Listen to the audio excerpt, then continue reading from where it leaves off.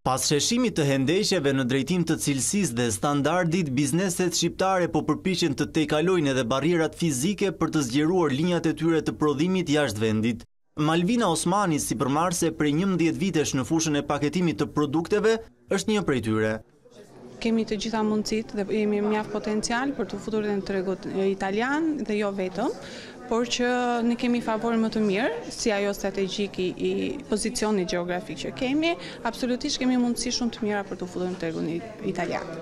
Ndonëse në kahun tjetër dëshirën për t'u zgjeruar e ka edhe Luca Bottioni, një sipërmarrës italian që ka ardhur në Tiranë për të pasur një pamje më të qartë të klimës së të bërit biznes në Shqipëri.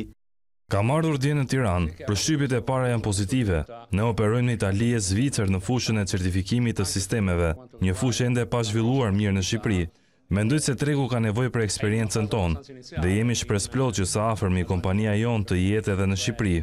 Silva Mara, drejtuese e shoqatës Fenimprese në Shqipëri, e cila shërben si ndërlidhëse e sipërmarrjeve shqiptare dhe atyre italiane, Ka një mesazh për bizneset që synojnë të ndërkombëtarizohen. Duhet shumë punë, strategji që nga pronarët, punëdhënësit, të cilët të ndryshojnë mindset-in, të cilët duhet të normalisht të kenë pjesë të rëndësishme komunikimin dhe trajnimin e punonjësve, edhe pse është një fazë tjetër pak e vështirë, sepse di dhe përgjigjen e tyre që kemi një turnover, kemi një ndrim total të të punëdhënësve, të punëmarrësve dhe të punëdhënësve në Shqipëri, sepse burimet njerëzore nuk kanë shumë stabilitet. Sipas të dhënave në vend përllogaritet se operojnë rreth dy mijë e shtatëqind biznese italiane, ndërsa numri i sipërmarrjeve shqiptare në vendin fqinj shkon në rreth tridhjetë mijë.